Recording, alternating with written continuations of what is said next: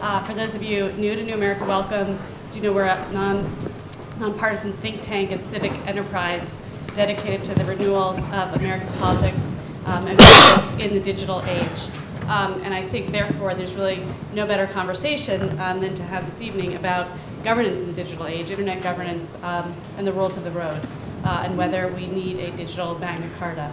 Uh, I'm particularly delighted this evening to be co-hosting this event with the Consulate General of Switzerland, Ambassador um, Schaller and your colleagues.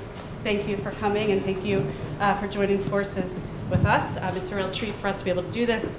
Uh, and the discussion tonight will be um, led by Stefaan Verhulst. Welcome back, uh, Stefan, the um, philosopher king, I think, of internet governance um, uh, at the GovLab um, prior. That's excellent. GovLab at prior um, head of internet governance at the Markle Foundation um, and has been teaching on this subject for for six for, for more years than there, we've had the internet. Um, but I'd love to hand off this evening. Welcome to um, Ambassador Schaller.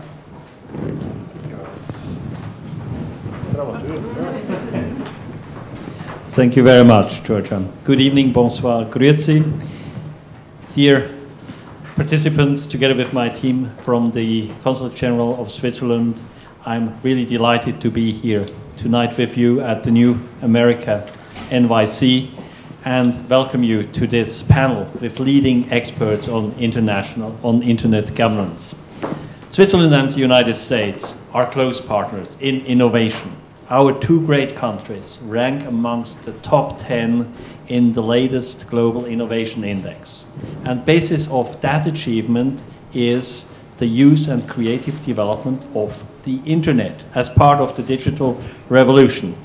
And we are just at the beginning. You know that better than I do. And the internet of things will offer many more exciting possibilities and opportunities. And we all know that opportunities do not come without risks. And that's where good internet governance comes in. The discussion on internet governance is at its start. It's still very fluid, and therefore it's very timely and important that we exchange our views and our also experiences, best practices amongst partners.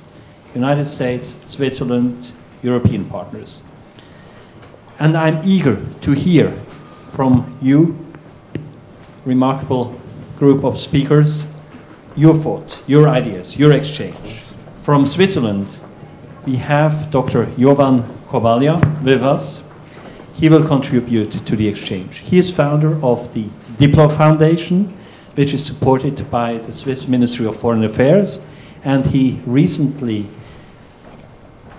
published a study, Switzerland and Internet Governance, which was commissioned by my ministry.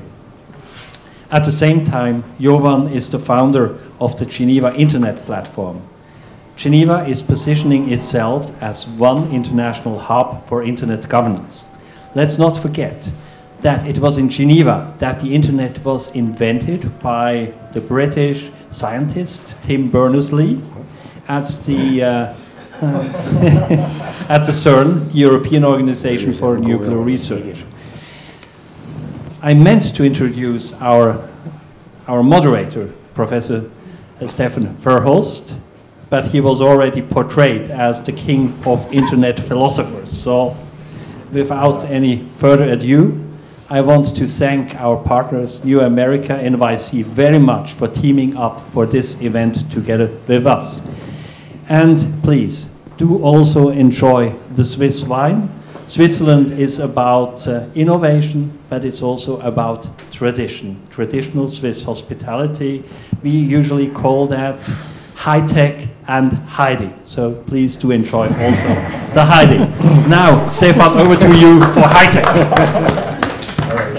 Thank you very much. Ambassador, for this uh, kind introduction and for a uh, enlightening positioning of uh, Switzerland. Uh, we could go through a whole range of how Switzerland is known, ranging from the chocolate to the cheese, but now, of course, the internet uh, is the uh, is one of the key uh, features that, um, and especially the focus on internet governance is the key features that positions uh, Switzerland and Geneva uh, on the map. And to a large extent, of course, it's to a large extent also thanks to uh, Jovan's efforts and the efforts especially around the Geneva Internet platform that has uh, made this uh, uh, happen. Uh, today we're going to try to um, scratch the surface of internet governance and as um, um, was already mentioned, I've been uh, teaching internet governance uh, at NYU for the last uh, seven years or so. And each time at the beginning of class, uh, I asked my students, so what's up? Uh, what happened? And, uh, and, seven years ago, it was like a timid kind of exchange of, well, this happened this week and this happened that week. In the last few years, uh, it's an avalanche of, uh, uh, of mentionings and an avalanche of reporting backs on this happened this week. And so we see actually a steady increase of the importance and also the um, developments in internet governance. If we look at what happened this week, for instance, we can already point to several events that happened um, across the globe, meaning in the I just have here, thanks to Sam, who is sitting there, who is uh, also producing for us a weekly scan on internet governance. Uh, for instance, uh, uh some of the headlines that we see here is that um, the Europeans uh, warn its uh, citizens that if they use Facebook, then they are not safe from the NSA. So that's clearly one development that focuses on the safe harbor questions, which is a key question of internet governance. Um, in India, uh, a major uh, uh, decision was made by the Supreme Court of India that looked at um, to what extent is it constitutional to block uh, internet uh, content and to what is it constitutional uh, to even um, have some kind of a protection from um, law enforcement if you post information on the internet. There's a whole debate uh, in France, uh, and I'm going to point to some of the, uh, and introduce some of the uh, speakers here, to what extent it is scarier, whether you block terrorism or whether you actually allow terrorists to use uh, the internet, which is clearly an internet governance uh, issue, and as the debate is ongoing. There's an ongoing debate to what extent uh, you can actually bridge the global digital divide by having global operators such as Google and Facebook develop infrastructure in Africa, and to what extent that actually would hamper uh, freedom of expression, or to what extent it actually would uh, support access to the infrastructure. Uh, there was a whole debate in Manila to what extent you can actually protect intermediaries from li liability this week, and led to the so-called Manila um, manifesto with regard to internet, uh, uh, internet uh, liability uh, and so on and so on. So just a few examples to showcase that internet governance is alive and well, uh, and that unfortunately, uh, it's not only alive and well, but it's also an area of growing tension. And it's an area of growing tension because we really don't have uh, a good understanding or a good consensus around how to go about some of the challenges that are presenting on a daily basis with regard to the internet. And that's why Tim Berners-Lee, who I just learned was Swiss, no, no I'm not, uh, who obviously worked in, uh, uh, in Geneva at CERN and developed the uh, World Wide Web, uh, why Tim Berners-Lee called for this digital uh, Magna Carta, and why others are calling for a new social contract for the internet, because there is this need to actually have a set of principles that could apply across those examples that I've uh, cited that were uh, examples that uh, just we happened this week. And so that's, to a large extent, what we're going to try to discuss today, which is what is internet governance and how is it evolving, and do we need principles, how do we deal with this growing uh, medium that is becoming more and more global and is entering into legal jurisdictions that are different uh, than where the internet emerged, such as Switzerland and the US and the rest of uh, uh the world? And to what extent um, do we actually really need uh, uh, new principles? And so these are some of the questions that we are going to explore in a conversation mode. And the partners that I have here, which are uh, uh, the best that you can have with regard to internet governance are uh, people that have worked on the issues for many years. And uh, I'm delighted to introduce uh, all of them. And so why don't I start at the end with uh, George Sadowsky, who has been um, uh, a leader on uh, internet governance uh, for many years and is currently um, associated with the Internet Governance Forum, but especially is also known as a board member of ICANN, which is the Internet Corporation for Assigned Numbers and Names, and quite often synonym with Internet governance to a large extent. And I think what we hope to do today is to actually indicate that it is broader than uh, ICANN and the domain names. Uh, but that I mean, we can have a whole debate about the mandate of ICANN, but the concept of internet governance obviously is broader. Then we have Constance Bommelaer, uh, who is the uh, global policy um, person at uh, uh, the Internet Society, uh, and um, um, has also a long-standing history and, and, passion on internet policy, initially at the French government, but now uh, at the uh, um, uh, technical committee and is also a um, person that has um, clear practice on multi-stakeholdership, especially for the technical community within the OECD. Then we have uh, Jovan, of course, who already was introduced. Uh, but Jovan and I met uh, many years ago when he was founding um, Diplo Foundation, which is uh, uh, one of the most innovative organizations that tries to look at how can you actually change the way we do uh, international affairs using technology and how does it, uh, how does foreign uh, policy making uh, um, change once we have actually technology.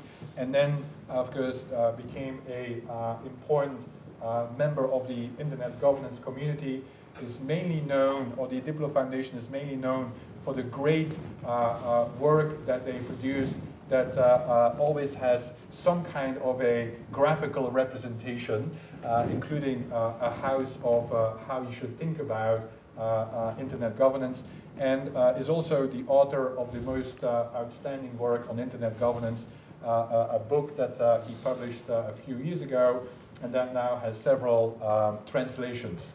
Uh, and uh, last but not least, uh, we have Olivier from Fordham Foundation, Fordham, Fordham University, where he is a professor uh, working on a variety of issues related with internet governance, both uh, global but also uh, domestic here in the US, and is just or has just finished a paper on another important internet governance topic that happened here in the US, which is of course the whole net neutrality kind of uh, debate and ruling uh, of the uh, FCC.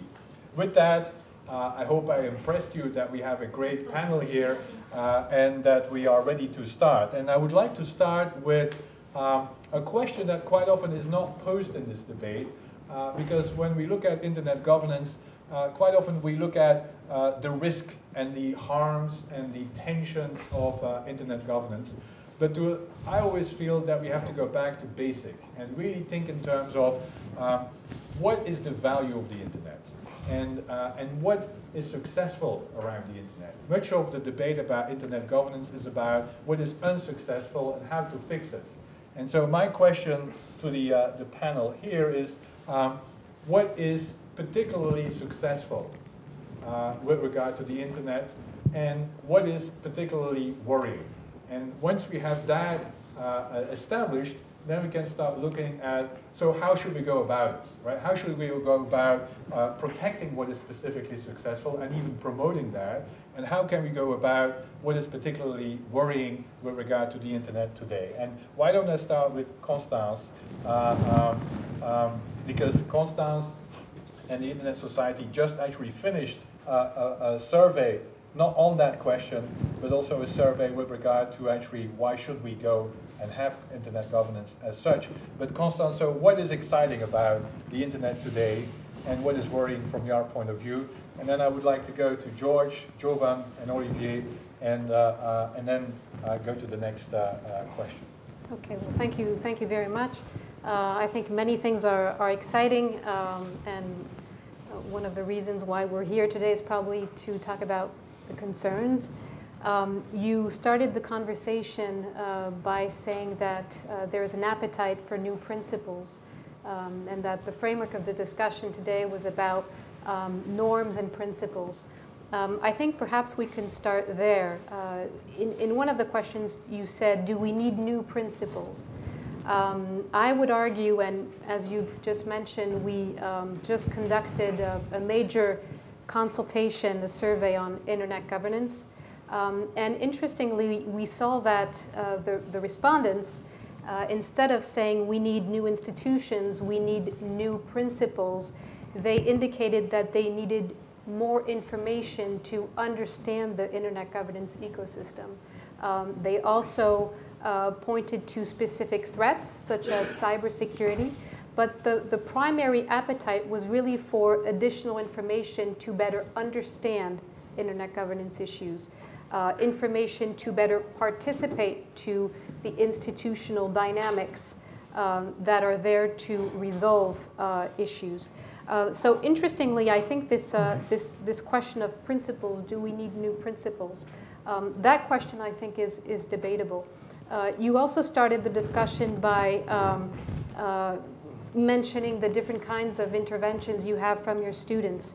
Um, I would say all the issues you have uh, raised actually relate to different sorts of principles. There are very high-level principles, human rights. Uh, there are best practices, norms, laws. All these uh, different types of principles are at a different level. Um, and then maybe I would add that um, I think the question is more on the applicability of existing principles uh, than necessarily rushing to creating new principles. Maybe we do need new principles, but, but certainly the first question should be how do we apply existing principles, such as human rights, to, uh, to, um, to the internet? The Human Rights Council a few uh, years ago, um, in a very important resolution, said absolutely uh, that uh, human rights needed to apply online as they apply offline. And a few weeks ago, there was a, an important uh, conference at UNESCO that will feed into the WSIS process. Very interesting discussions. Not only human rights need to apply, but they need to be effectively respected online. Um, so again, I think the question of whether or not we need new principles uh, can be can be discussed. That, that um, was the question that will follow. Ab so, absolutely. And so and I think you're, you're I'm sorry. Ahead. I'm sorry for challenging so, that. I, I, think you're very skilled in, in, in not addressing the question. So, so, so, what excites? I mean, why should we care? I mean, what's the? I mean, so, if you would say, um, if you're in a conversation and say, well, well, we need internet governance, right? And so quite often it's about because anyway we want to prevent something, but what do we want to promote? And so what is the, so George, why don't you go? Because I know this is quite often the question that is never posed, uh, and that's the reason why it's the hardest one in this panel probably. But George, why would you, okay. what, what would you say, and why do we, why do we care? I mean, what is so, what is so exciting? What's the success story here that we should seek to, uh, um, to, uh, to promote. Thanks, Stefaan. Uh, first, I want to say that everything I say tonight is not necessarily the opinion of anybody I've ever worked for or, or who has worked for me, but it may be. We don't know. Uh, second, uh, uh, I've uh, spent a long time in this industry, and my brain is full at this point, so you'll understand if I occasionally look at my notes to remind me of the points that I want to make. Well, what's exciting? What's exciting is that half the world is on the internet. That's really exciting. Uh, and it's been ta it's taken place in 20 years, and it's going to get better uh, uh, with the advent of cell phone technology and greater cell coverage in areas where we've uh, normally not had the penetration rates, uh, South Asia, Africa, and so on. So that's terrific. Um, the second thing is to see the new business models come out. uh, who, the, uh, the ability to make life easier and to have new kinds of businesses form. Uh, my friends, when they want a taxi, they just hit the Uber button on their uh, cell phone. When they get to the airport, some of them don't even re reserve hotels overnight. They get to the airport and they push hotel tonight and they decide where they're going to stay. And that, those are just two small examples of, of the way in which the internet and the services that are, that are exploding on the internet, especially on mobile, uh, are affecting our lives and much for the better. Um, there's a third thing which I think trumps both of those, and that is that now it's possible for everybody who's on the internet to have what is essentially an increasingly level playing field with regard to access to knowledge. Uh, I did a lot of work in Africa in the 70s and the 80s. When I went to a university library, it fit on two bookshelves that didn't go above this height. Uh, and the books were 20 years out of date. Uh, and, uh, that was typical. Now, with the internet, uh, we have the possibility of teaching people how to go after the knowledge they need when they need it and to find out what they need at the same time to create linkages with people in other countries who can help them. This is a major, uh, uh, a major step toward uh, increased rate of development. Now, what worries me? What worries me is that um, uh, it's all about malicious misuse. Uh, Vint Cerf said, at one point that uh, the internet was uh, a laboratory experiment that escaped the laboratory. It was, it was done among friends. Everybody who was on the internet was a friend.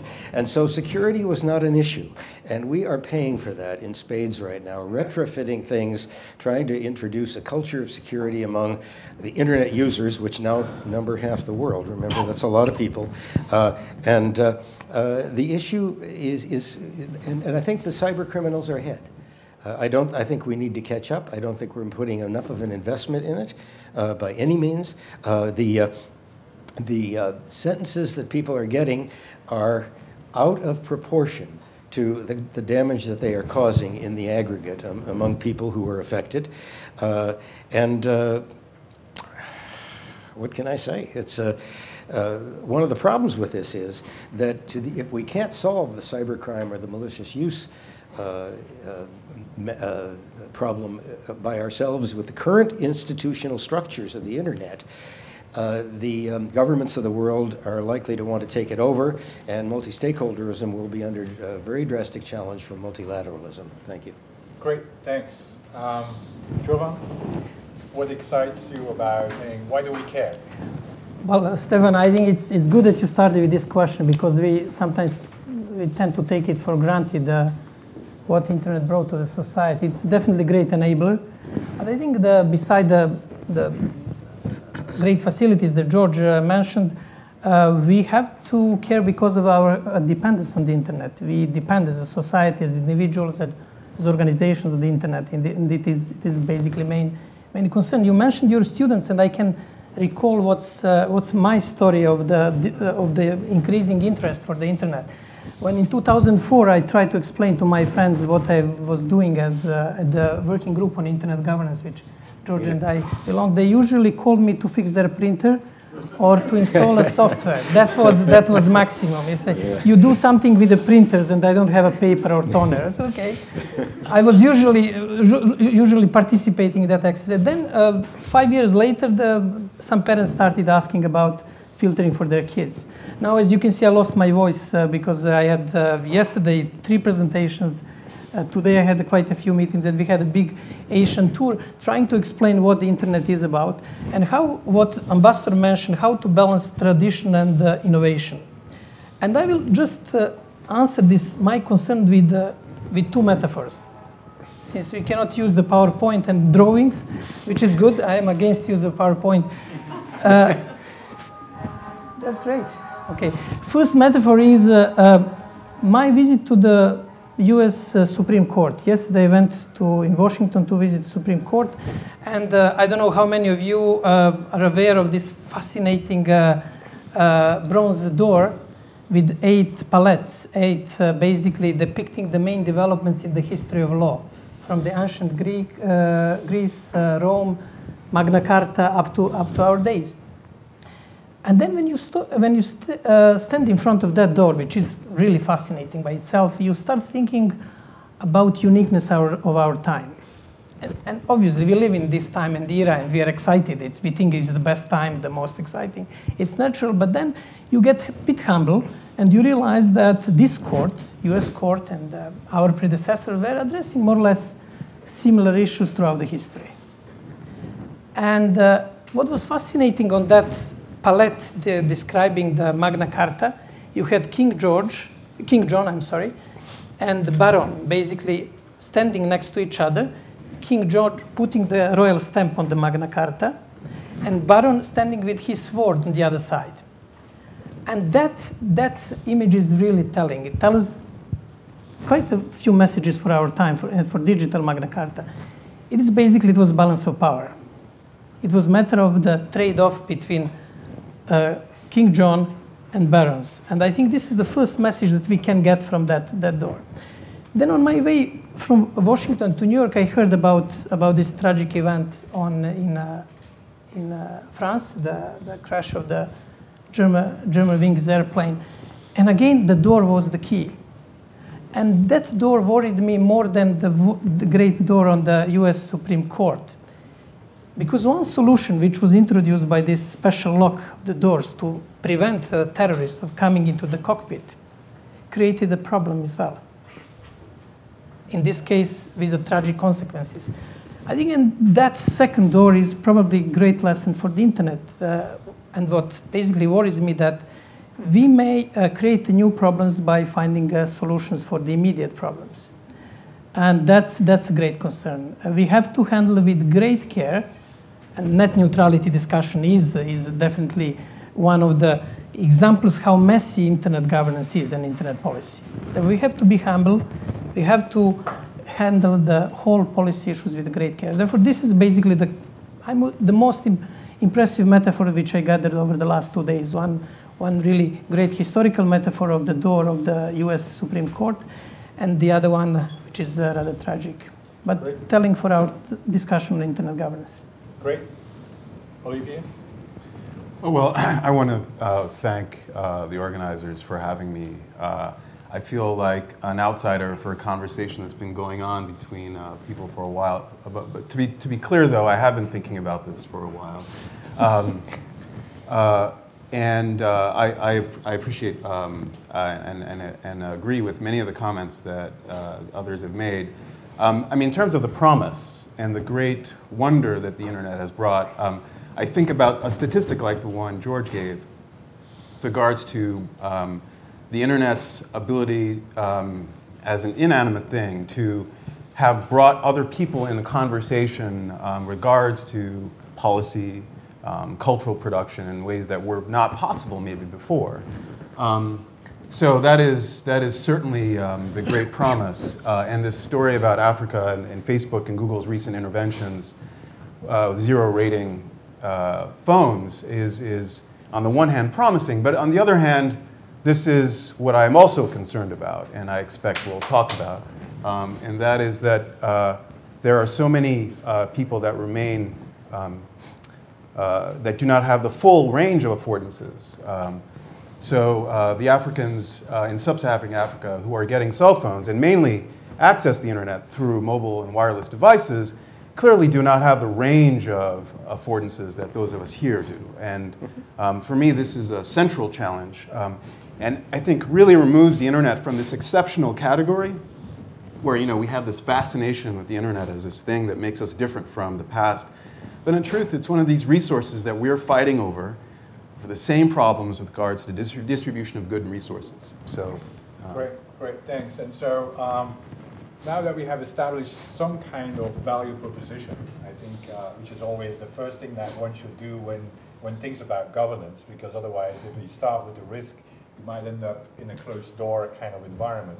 Um, um, the question is, of course, well, what are the kind of principles that guide you how you go about protecting the value proposition or dealing with the risk that are real and that were expressed uh, as well. And so clearly we started off by saying that uh, some indicate that there is a need for a new Magna Carta, which basically spells out the principles of how, how to go about uh, the balance uh, of power to a large extent, but also how to go about the, uh, uh, the way to address certain kinds of issues.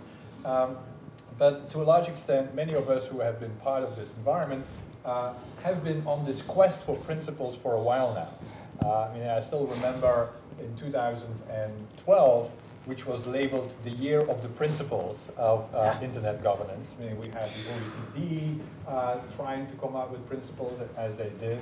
Uh, we had the UN looking into kinds of principles. And we had every kind of organization that was working on internet governance contributing to this debate about principles. So my question um, to uh, the panel uh, is, do we actually still need new principles? Or do we have principles that uh, we can build upon, or is there another problem, i.e. we have principles, but somehow we cannot find consensus enough to really build upon those principles. And so uh, the question, uh, uh and Constance, you started, I don't want to put you at the, at the spot again, uh, uh, but you already so, sort of answered that question. Um, but perhaps you might answer the question, do we, anyway, do we actually still need new principles? Um, and if so, what is missing today? Uh, why don't you start and reflect and, and, build upon what you started off? Okay, absolutely. Um, well, I, I think I, I, I, started a little bit uh, earlier uh, with this uh, reflection around the idea that uh, we already have existing principles and maybe the challenge today is to find how to apply them effectively uh, perhaps we will reach uh, a, a, point where we will decide that we, we need new principles. Uh, but my intuition at this point is that uh, we are rather in a process where groups, institutions, the Human Rights Council, WIPO, UNESCO, the different um, entities in charge of applying and developing principles are adapting to the new era of the internet um, it seems a little early to uh, rush to the conclusion, although perhaps we will get there, that we necessarily need new principles.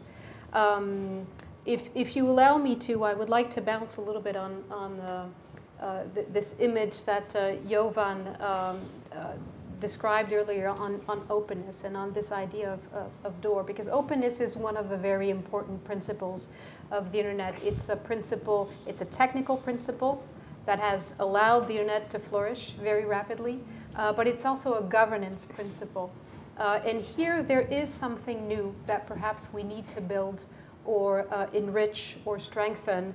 It is uh, how we organize the principles in terms of participating to discussions. Um, you, you know that at the end of 2015, at the end of this year, there will be the 10-year review of the World Summit on the Information Society the WSIS proposed important principles on how to organize the information society. Um, over the past 10 years, the technology has evolved, the way people use the internet has also changed, and the question is, how do we involve these people in the discussions uh, that will happen? Right. Uh, something very important um, in, in my view, the WSIS is organized by the UN. It's a UN process. Can you explain the The World Summit on the Information Society um, that uh, was the first phase was held in um, Geneva in 2013, the second in Tunis. Um, and we have this year organized at the level of the General Assembly, the UN General Assembly, the 10-year review process. And one of the critical questions for our community is whether or not we will be allowed to participate to the negotiations. We know internet governance, the definition of internet governance is about involving all the relevant stakeholders, not just governments. And for us, the critical question will be, will we will be allowed to participate to the discussions? Great. Um, Olivier, do we need new principles? Well, so it's a, it's a, it's a, it's a fine question. Um, I, I, um, uh, let me answer it in two different ways. One as a, uh, you'll forgive me, I'll, I'll, I'll play more of a, I guess this is a professorial approach, but, but the, the question is, well, it, it's an interesting question only because I think people are seizing on this technology as an opportunity to assert that we need new principles or that we need to reaffirm old principles, right? Um, and in which case, I would say, uh, depending on the audience, right, I would say, yes, we, we need to articulate these principles loudly and firmly, free speech, privacy, um, security, uh, whereas these have always been things we care about. Uh, so I agree with Constance on the one hand. I think, though, that this technology presents us with an opportunity. Um, Great. Jovan? Well, um, we did recently some analysis of the number of the principles that you have currently. There are 18 different sets of principles. And even we contributed with one set of principles. Were- I don't think, um, well, 18th uh, one, uh, Alright. Geneva, Geneva message on internet governance. There, there is inflation a bit of, uh, of the principles, and then you know how it works with inflation. Whenever you have inflation, inflated object, object is reducing in its importance. And more or less, those principles repeat a few similar lines openness, inclusiveness, etc., etc., etc. I don't think that we will need uh, new principles. Uh, uh, they, will, they will be settled somehow.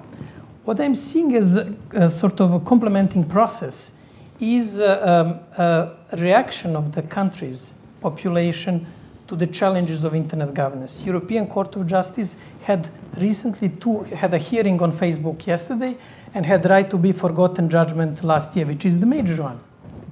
Therefore, people are trying to find a solution and they are, uh, they are losing patience with the discussion on principles.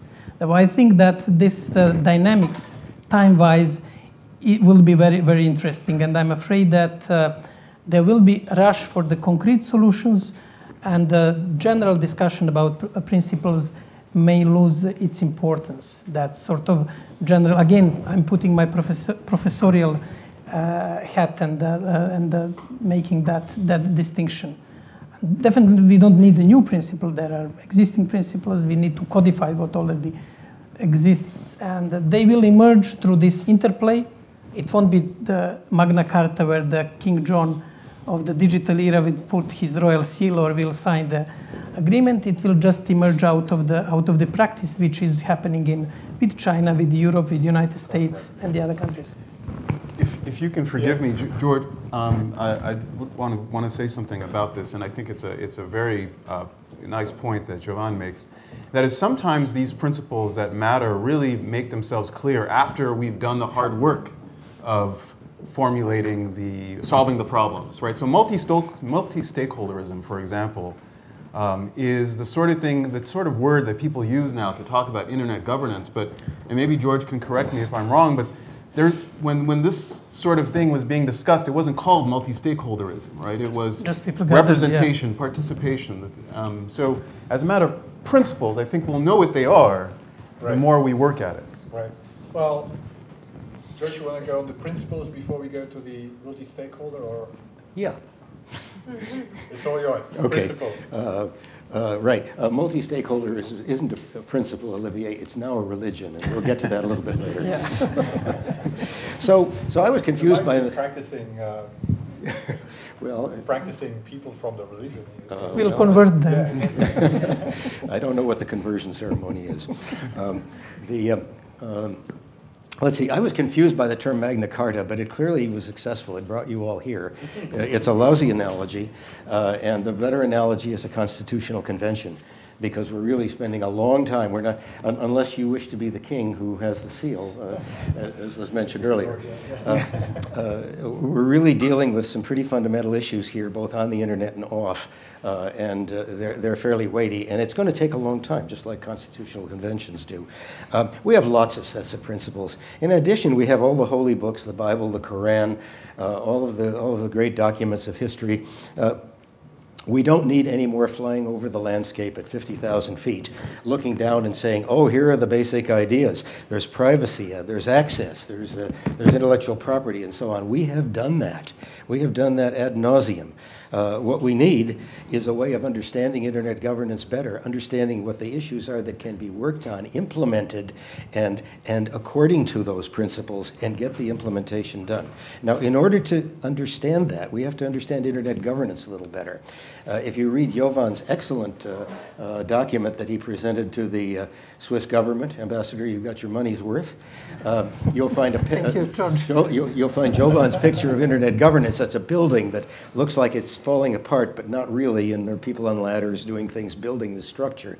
If you looked at the PowerPoint slides that I wanted to show you tonight, but couldn't, uh, we have a, an analysis by David Souter, uh, an Englishman who's a very good student of internet governance, where he has these six basic areas laid out. But then in the next slide, you overlay what the real issues are, and there are something like 70 or 80 of them.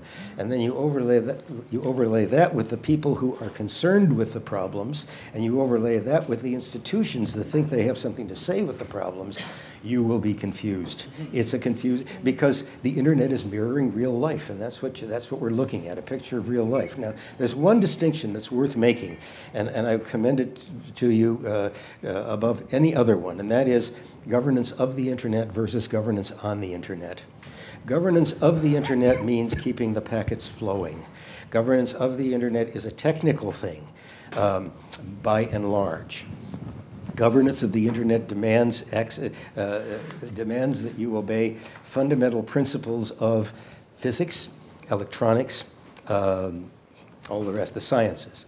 Uh, governance on the internet refers to problems which have existed prior to the internet, but which have taken new forms and migrated to the internet. And that's almost all of human behavior at this point. Um, so the, the, the, litmus test is, did this problem exist before the internet? If the answer is yes, it's governance on the internet. And, and that's the domain of policymakers. It's really the domain of citizens, generally.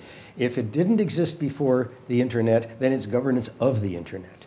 The problem comes when policymakers try to solve general policy problems by saying, oh, this is, this is a problem of governance of the internet. And therefore, if we make a technical change, rather than understanding what, what the problem really is and how we, uh, the various methods of solving it, uh, that'll, that'll solve our problem. And I'll mention three right now. And by the way, uh, Leslie Daigle just authored a paper in the CIGI series, CIGI number seven, which really has a wonderful analysis of this, and I recommend it. But the three areas are um, putting national borders on the internet. It doesn't work with the technology. Uh, making um, IP addresses country-based. It violates certain, certain rules of the technology. Data localization, making sure your data are in your cloud in your country. All of these th things can be done with the internet, but not without wrenching them, wrenching some of the principles of the internet apart and, uh, and, and providing problems uh, in the future. Okay, let me stop there. Great. Well, that was a, a great uh, um, distinction of some of the uh, some of the issues. Now, uh, I do want to come back to the religion that you uh, pointed out, and uh, to a large extent, I feel like guilty of uh, being part of the initial creation of the religion when. Um, at the Markle Foundation, we were part of something called the Digital Opportunity Task Force, uh, which was a task force to the G8 when the G8 had its Uh, when Japan was uh, uh, uh, in charge of the G8, and I think that was in 1999. And they created a, a task force, and uh, George knows it very well, it. Uh, which was aimed to bridge the global digital divide. And the, the innovation of the task force was to actually bring the different sectors to the table, i.e., in that context was civil society, industry, and government. And the real innovation was that everyone would have an equal vote with regard to how to address and how to go about the, uh, uh, uh the uh, global digital divide. And it was a very successful uh, undertaking, led to a, a, a, series of commitments by both industry, civil society, and government to start overcoming the digital divide. And it was also the first time when really what was called at that time multi-sectoral governance was tested in the space. Now, the UN at that time, uh, which had no uh, uh, internet governance agenda, uh, became concerned about the ICT and the Secretary General, Kofi Annan at that time, uh, started something called the UN ICT Task Force. And the UN ICT Task Force was really an attempt by the UN to uh, start looking at who in the UN is actually working on ICT and how can we then also address the concerns of digital divide. And they started, and they looked at the digital uh, um, task force, the global, the, the GDOI or GDOP, whatever, uh, GDOP, uh, Digital Opportunity Task Force, and they said, that model of multi-stakeholder, multi-sectoral is a model we should follow for the UNICT, and that's how ultimately multi-stakeholdership was somewhat born in the context of the uh, internet governance, which then led to the World Summit, uh, which was uh, initially hosted by uh, Switzerland,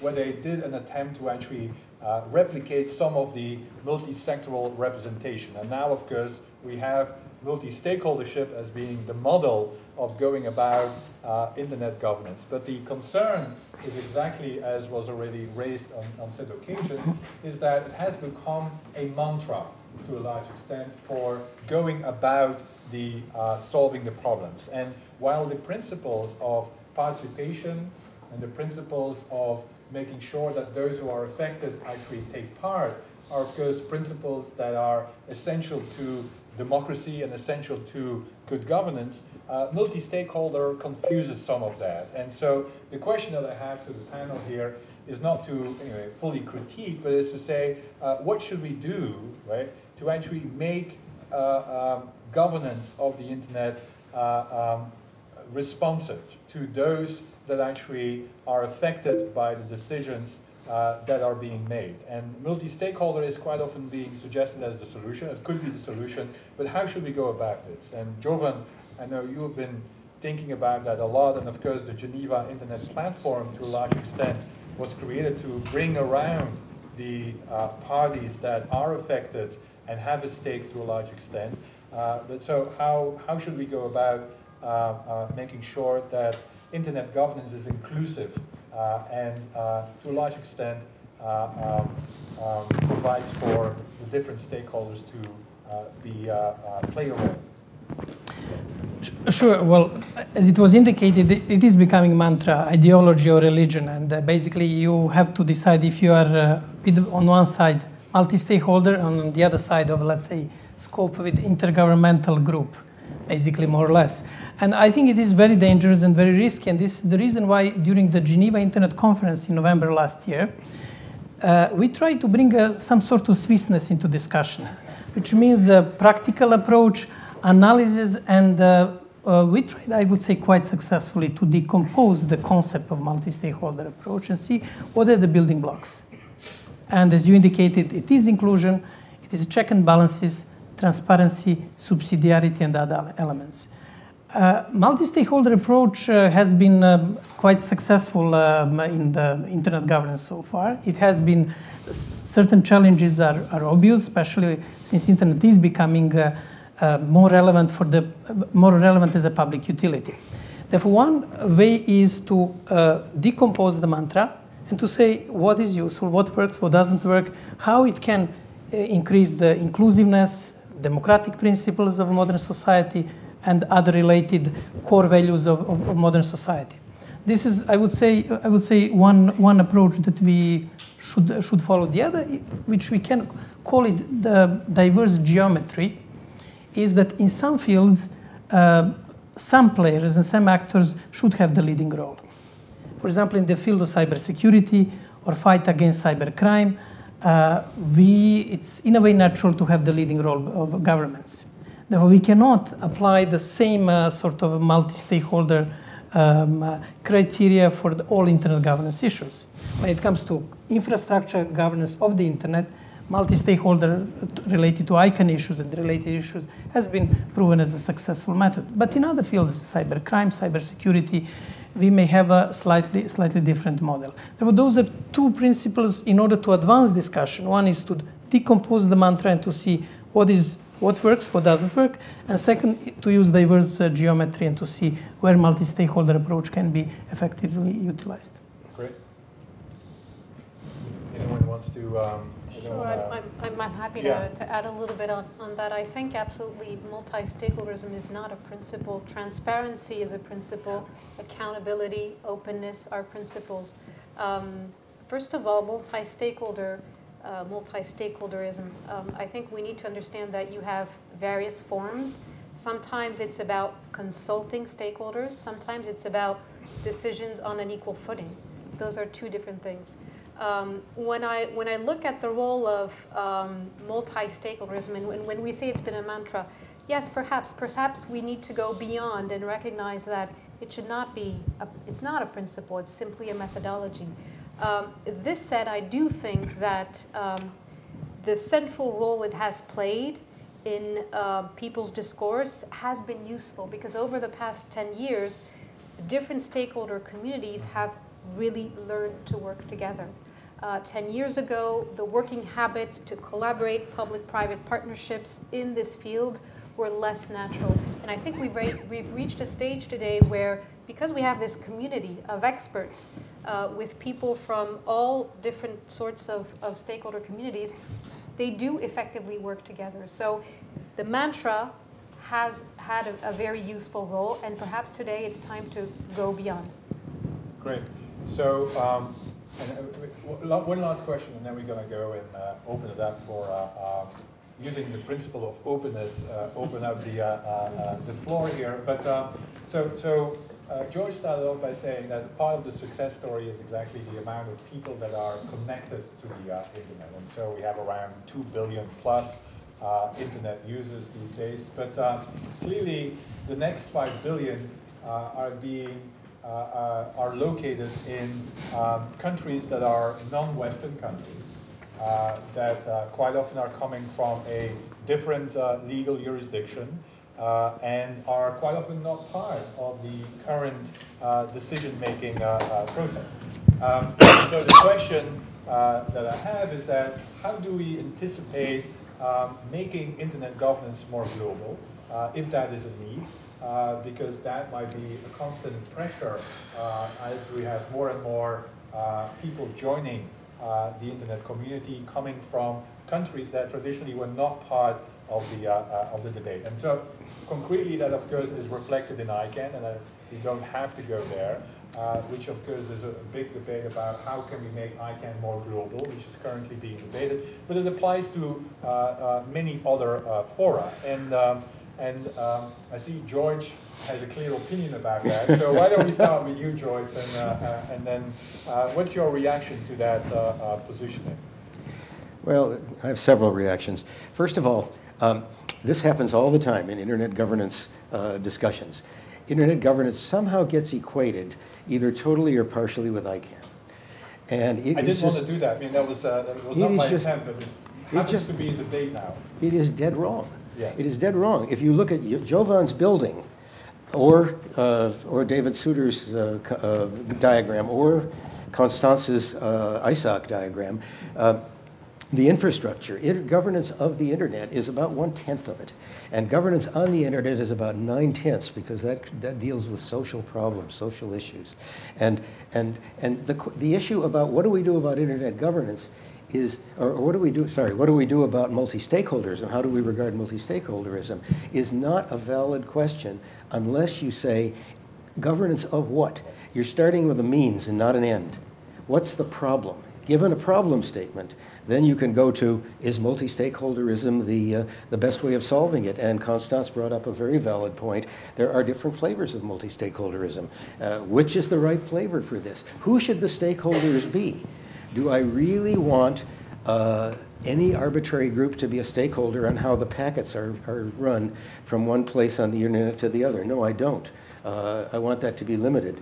Uh, do I want, when I take my bus home to Vermont uh, tomorrow, uh, do I want the, uh, the way in which the buses run to be a multi-stakeholder decision? No, I don't. I want the bus driver to drive the bus. Um, let's start with goals. The goals in, in, that I see in terms of internet governance are of, on, of the internet, let's make sure it technically works. Let's make sure there's no roadblocks to the extent we can, to the extent that national sovereignty concerns don't enter in with, with censorship. Let's make sure that things work. Uh, with respect to governance on the internet, uh, let's take cybercrime. Let's make sure that our judicial system knows how to deal with, uh, uh, with electronic uh, preservation of evidence. Let's make sure that judges understand uh, uh, how, to, how to judge these cases. Let's make sure that, let's make sure that all functions of the judicial apparatus of government function well in cyberspace as well as they do outside of space, cyberspace. And that's true with respect to every one of these areas with respect to governance on the internet. For, for the most part, for forget ICANN. For the most part, forget the uh, getting the packets from here to there. Let's solve the societal problems. And I think this is, uh, this is what I think, Olivier, you mentioned, that, that uh, the internet is a, a, way to revisit issues that have, been, that have been with us for some time, but now appear in a new context. Uh, and uh, it's time for us to address them and solve them. And that's not done at the 50-foot level, 1,000-foot level. That's done on the ground. Thank you. Great.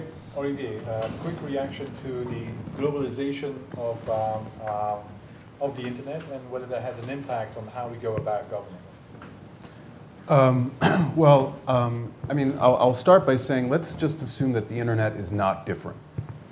And um, if it isn't different, and we have to disaggregate it and think about the different problems that arise, it, it looks much more like um, all the other resources that um, interested groups fight over. And if that's true, and we have conventions to resolve these problems, why aren't we considering them? Um, and this is a touchy question, right? I mean, part of the reason it's touchy is because uh, we, many of us in the West value the purported technological principles on which the internet is based, openness, for example. Um, but these are now political questions. And, and uh, how do we resolve that? I mean, that's a tough, that's a challenging problem, particularly since so much of the world is not yet persuaded that openness is necessarily uh, an important value. I think there are fora for that. And, and the fora for that are, are, are uh, things like the United Nations. Uh, I know that that's, I mean, that in a, in, a, in, a, in a world where there is some real resistance to thinking that technological questions should be left to the United Nations, but there are spaces for that. Um, and I'd, I'd, take up the uh, metaphor that um, George uh, mentions about the bus although I want you to get home safely, uh, to be sure. Um, uh, but bus drivers are licensed, uh, and those are decisions that states make. Uh, um, the pilots on the airplane that Jovan mentioned, um, these are questions about how pilots are certified. and those are questions that nation states make. Um, those are not questions that pilots, apart from the conventional rulemaking, lawmaking processes make. Nor, nor do I think many of us want that. Um, Great. So let's open up. And, uh, um, there might be a question. So why don't we start at the back? do we have a mic? Uh, just shout out. Shout out. Yeah, yeah. it's, it's being webcast, so you need to repeat the question. I, I will repeat the question. Right. Okay. So as we move forward, and there is some type of internet governance, uh, my question is, what direction of balance do you see between basically voluntary, uh, you know, adhesion to principles that uh, internet governing bodies would, would set up, as opposed to mandatory or technical solutions from which basically there's no effective, uh, you know, opportunity to uh, go against them. So the question, as I understand okay. it, is, is to what extent um, do you see, the, on the one hand, the preference for voluntary uh, rulemaking and uh, enforcement versus mandatory uh, uh imposing uh, kind of rules that uh, the internet community should um, follow. Does anyone wanna, Jovan, you gonna address that? Maybe on very concrete example, which is data protection and privacy just not to have the abstract abstract. We have two possibilities. One possibility is to have proactive self-regulation by, in this case, internet industry. Or if it is uh, missing, uh, then uh, there is a reaction by courts, international organization, and other players. And this morning, the UN uh, uh, Human Rights uh, Council adopted a resolution, I would say historical resolution of introducing special rapporteur. In the UN terminology, it is important, but it is basically body and person who can go to a specific country and check the level of the privacy protection, data protection, and other issues. This was established this morning. He will be nominating over the next few months. Therefore, you have one position is to have the self-regulation according to the certain principle, in this case, privacy protection, or if it is missing, then you have reaction of international organization, in this case, the Human Rights Council, or uh, what is happening increasingly in Europe of the of the European courts. And this, it is interesting development because Europeans still trust the courts. They don't trust politicians, generally speaking, but with the exception of Switzerland, I would say. But in many European countries, I mean, many European countries, they, they basically don't trust politicians, but they trust courts.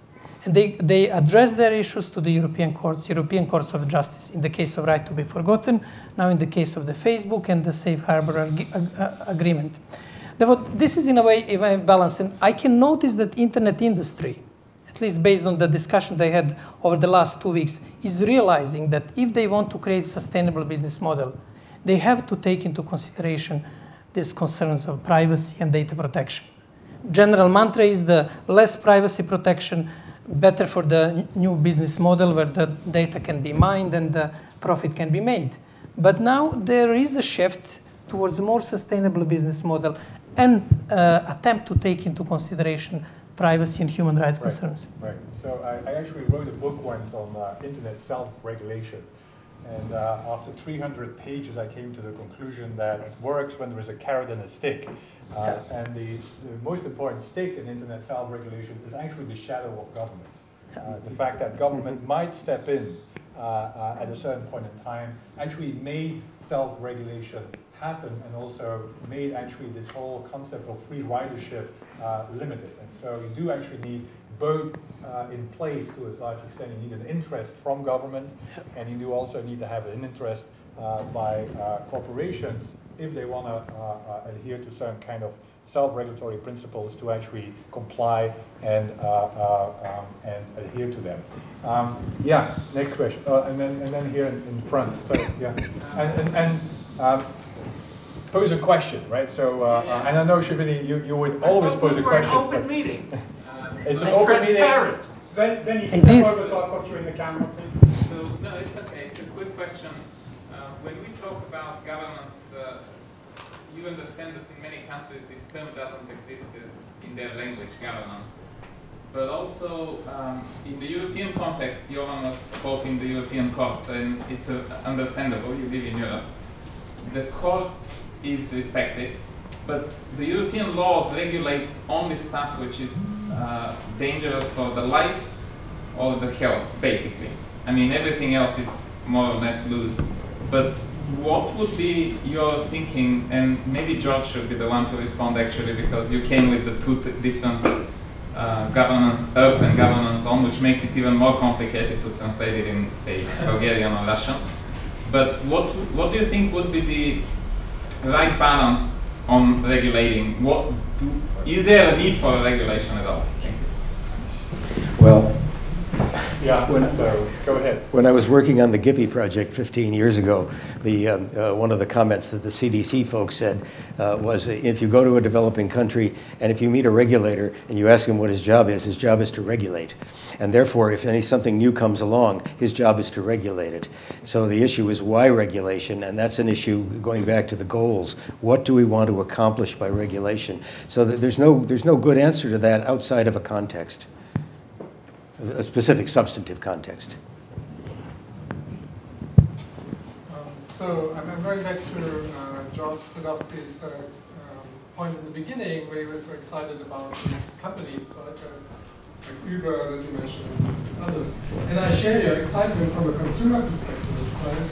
But now over the last uh, few months, I guess we also learned that basically uh, certainly hundreds of thousands of workers on the other side of the equation are affected by that by global consolidation by companies like Uber of this whole sector, uh, by Amazon, Mechanical Turk, by Crowdflower, crowdsourcing industry, mm-hmm. all of that actually creates quite miserable conditions for workers worldwide. Well, there are shades to that, right? It's different yeah. in India than it is in the United States. But nevertheless, uh, so like, why is that never an issue? Why are labor issues, labor concerns, not an issue in a, at a time when uh, companies like Amazon and Google act increasingly like labor companies. Right?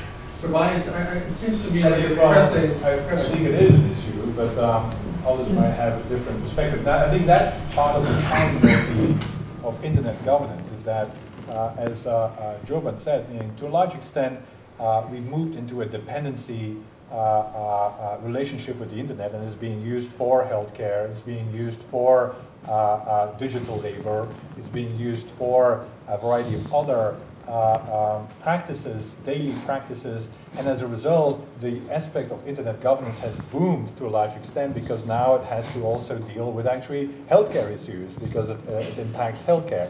It has to uh, deal to a large extent with labor issues because it impacts labor. And of course, there is a whole debate that uh, how far do you go, right?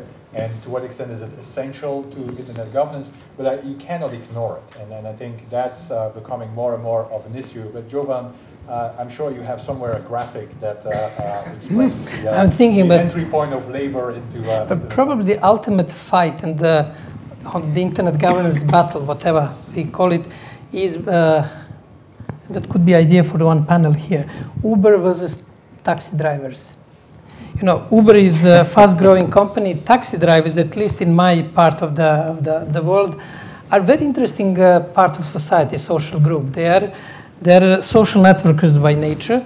They're in gray zone between uh, criminal milieu, uh, politics, economy. And if uh, Uber manages, for example, in the Balkans to win the battle against taxi drivers, then I think that battle is won on the, on the, on the global, global level. As a matter of fact, we are organizing panel in Geneva with taxi drivers and philosophers.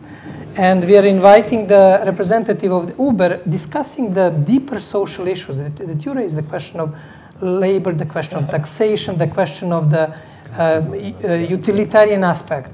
Therefore, around that question, taxi drivers versus Uber we'll have a quite a few core issues uh, related to internet governance in broader sense, not, uh, not uh, internet governance uh, of uh, not governance of the internet, but governance on the internet. Labor issues, economic taxation, uh, standardization, you name it, and you have it. So Olivier, you have a response, and then uh, George has a response, and then I suggest we uh, uh, enjoy the Swiss wine that was brought and, and have the discussion but going on. Somebody has to get up and say the emperor has no clothes, and 60%. Uh, I presume you're going to do that thank you, thank you. Yeah, exactly. If you do it, frankly, 60% of the people on the internet, and I speak of having been to Busan talking to the Africans and the Asians, think that the discussion in Frontier is irrelevant and is missing the point and is ignoring the most important issues of internet governance, which is which are based on how do we get the other 5 billion on, not how do we keep the United States government and its friends happy? Now, I don't have time to go deep, but I think that belongs here. Great. Okay, so we have the Emperor without clothes, and yeah. George, you want to address that? A, a, very quick response to you. What prevents the current taxi drivers from signing up with Uber? Um, the the response to, uh, to you is it's not an either or question and you're making it a dichotomy and it's a false dichotomy. We're doing, we're doing both. We're pushing for the, for the next, by the way, not the next 5 million, uh, the next 3, 5 billion, the next 3 billion or 2 billion. Um, we're doing that at the same time that we're moving forward, or that the U.S. companies are moving forward extending services. Would you argue that we should stop the U.S. companies from moving forward? Most people would. It's called the GAFA argument in Europe. When Facebook comes in and gives you free access if you go to Facebook, that is not promoting the internet, that's promoting an international monopoly. When Verizon charges for internet traffic so much that the African countries feel they're being totally ripped off, and it's a key factor in why the internet costs so much in Africa, we don't want to support Verizon's point of view on that if we want to get to the next 5 billion people. And that's the voice that isn't being heard here. Great, and has been heard now. So thanks for doing that. So Olivier, you, you had a, a response? Well, I was going to make a response to the comment about Uber. Um, the only thing I would uh, add, say is that, I mean, so uh, I, I mean, this is a contest that is being waged in courts now in the United States. Um, as to whether or not medallion owners in California and in New York are monopolies. Um, and I think, George, you suggest whether or not uh, uh, a, cab, a caddy can, can just become an Uber person. So crowdsourcing like this ostensibly creates new opportunities, is the argument. Um, though, of course, but the, the, the problem is that um, there are a whole set of other consumer-oriented considerations associated with what Uber does. And there are, you know, and I'm going to sound like a law professor here, and there are conventions in law that are meant to address it. So this is, for me, not about internet governance, but about the industry of taxi and, and livery services. Um, as to whether or not we have talked enough about whether other, the, the other half of the world has gotten the internet, I mean, some of us have talked a bit about it, and, and, and, there, and this is a serious concern. I mean, one of the questions that I think um, you, uh, Stefaan was interested in or talking about is, is what we would do in the next, what if we could do anything in the next year, what would be a priority? Maybe one of the priorities would be to shift and think about ways in which deployment could be encouraged. But that's a contest that has to be waged in conventional spaces for that resolution, right? Um, legislatures, courts, and, and, and other um, international governance regimes. Great. Um, I'm sensitive to the time, and I'm sensitive to the uh, eagerness for you all to talk with the panelists. And so uh, with that, I suggest that uh, uh we open those uh, Swiss bottles of wine and, uh, and commingle, which is the term of art within the New America Foundation. So thank you very much. And,